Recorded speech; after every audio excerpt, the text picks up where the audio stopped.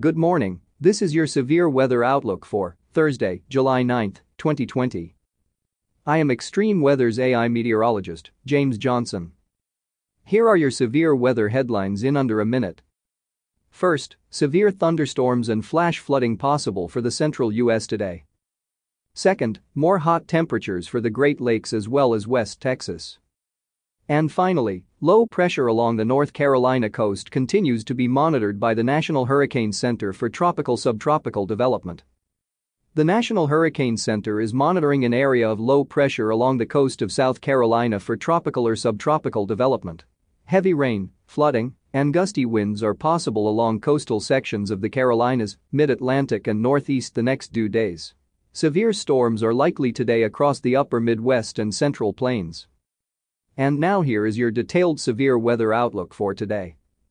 A potent frontal system will move through the Corn Belt today into a warm and juicy air mass. This will support the persistence and development of showers and thunderstorms, some of which may be severe and could produce local flash flooding and ponding on roadways. Temperatures into the upper 80s to mid 90s may approach record highs.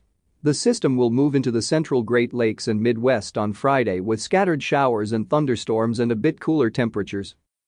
Across the south, a lingering frontal boundary will provide the focus for scattered showers and a few thunderstorms from eastern Texas to the Gulf and Atlantic coasts. Along the North Carolina coast, an area of low pressure will lift slowly northeastward and could possibly transition into a subtropical or tropical system.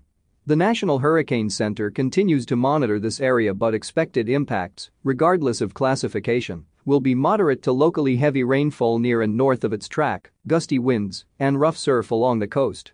Abundant cloudiness and increasing northeast winds will keep temperatures in the low to mid 80s. Over the Pacific Northwest, temperatures will trend a bit milder today and then Friday, but remain cooler than normal. Hot temperatures over western Texas and eastern New Mexico may approach records for at least the new two days and likely beyond.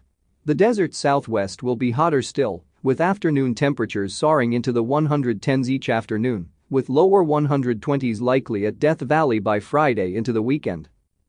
This is James Johnson reporting for Xtreme Weather. Our weather information is derived from the National Weather Service Weather Prediction Center, located in College Park, Maryland.